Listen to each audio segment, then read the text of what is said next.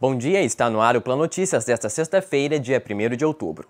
Hoje, a Secretaria Municipal de Saúde aqui de Poços de Caldas começa a vacinar adolescentes de 16 anos sem comorbidades contra a Covid-19. Segundo a Secretaria, a vacinação deste público acontece nos quatro postos de vacinação nos bairros até uma hora da tarde e na sala de vacinação do Espaço Cultural da URCA, pelo acesso na Avenida João Pinheiro, até às 5 horas da tarde. Ainda de acordo com a pasta, recomenda-se que todos os adolescentes, por serem menores de idade, que estejam acompanhados por um maior responsável. Para receber a vacina é necessário levar um comprovante de residência, um documento de identidade, CPF, cartão do SUS e a carteira de vacinação.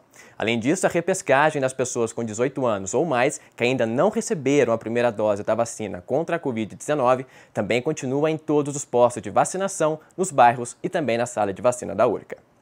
E o diretor do Hospital Santa Lúcia esteve ontem em uma reunião com o secretário estadual de Saúde, Fábio Baquerete, em Belo Horizonte, para conseguir manter o credenciamento para atendimentos cardíacos e neurológicos pelo SUS.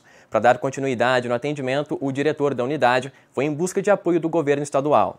O doutor Assad Neto conseguiu uma reunião com o secretário de Estado de Saúde e Fábio Baquerete afirmou que vai buscar uma decisão legal para manter os custos dos atendimentos do Santa Lúcia para Poços de Caldas e também para a região. Foi a decisão do descredenciamento do Santa Lúcia por conta de novos critérios de elegibilidade de política estadual de atenção hospitalar pelo programa Valora Minas. O hospital iniciou uma petição para que pudesse continuar os atendimentos de urgência e emergência para pacientes.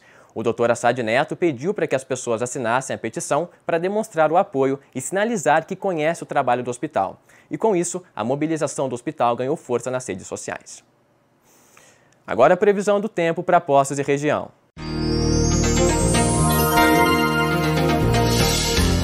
Céu limpo na manhã de hoje aqui em Poços de Caldas e sem a previsão de chuva para esta sexta-feira.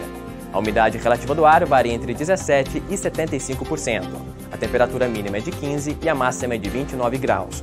Em Bandeira do Sul, a mínima é de 16 e a máxima é de 30 graus. A umidade relativa do ar varia entre 17% e 77%.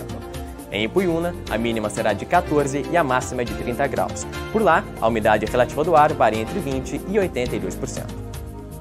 A primeira edição do Plano Notícias de hoje fica por aqui. Outras informações você confere durante a nossa programação e pelas redes sociais da TV Plan.